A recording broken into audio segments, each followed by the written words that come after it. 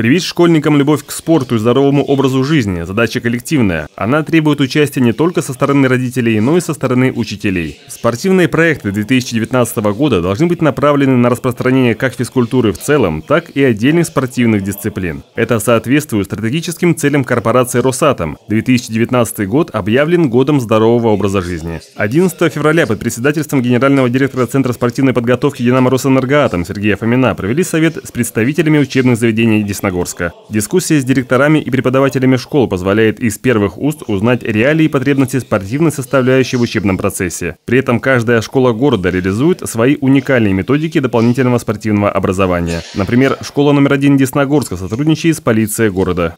Мы играем с ними в футбол на равных. Команда полицейских, команда детей. Второй год мы, конечно, проигрываем. Первый год у нас был 5-0. В этом году мы отыгрались 5-1.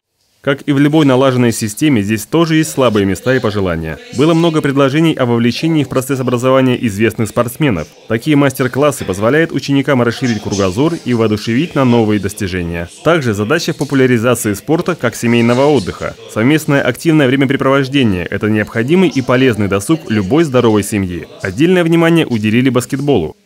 Баскетбол – это а, один из классных инструментов для развития ребенка потому что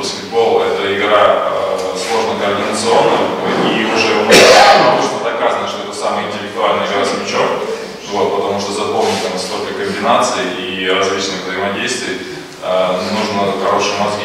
Спортивное образование нового поколения жителей Десногорска – многогранная и сложная задача. Только совместными усилиями можно культивировать и развивать культуру спортивного, а значит и духовного здоровья. Олег Соловьев, Юлия Соболева, Светлана Разганова, Десна ТВ.